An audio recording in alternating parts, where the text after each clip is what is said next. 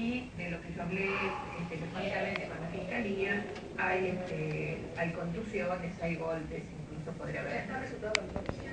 Eh, no, obviamente no, el tipo murió hoy. Claro, el resultado de la autopsia va a Pero bueno, como vimos que no había una causa que investiga la violencia policial en sí, eh, esa, esa causa la iniciamos nosotros. La iniciamos nosotros, eh, entró por, por, por, el sorteo de nuestro juzgado, eh, yo ya ratifiqué y en el interín,